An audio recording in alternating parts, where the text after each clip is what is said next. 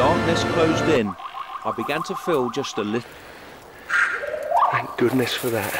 They feed mainly on insects. Instead...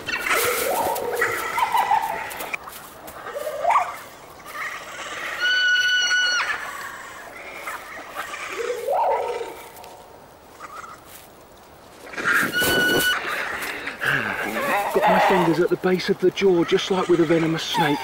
But if I can get there, that should calm him down, keep the eyes covered. And this is what I caught him for. As near as damn it, feathers. You think reptiles have all got scales? Maybe these are just raggedy scales.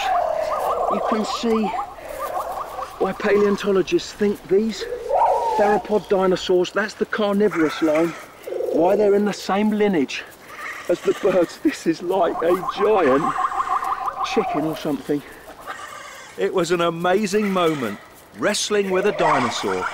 But I knew I wouldn't be able to hold on for long. Away you go.